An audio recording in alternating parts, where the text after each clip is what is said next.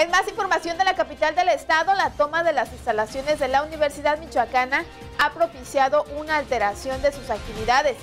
En este caso, las inscripciones para el nuevo ciclo escolar 2017-2018.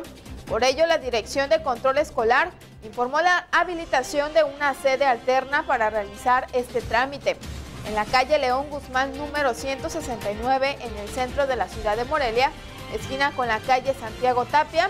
De igual manera, señalaron que conforme se regularicen las cosas, también se regularizarán las inscripciones.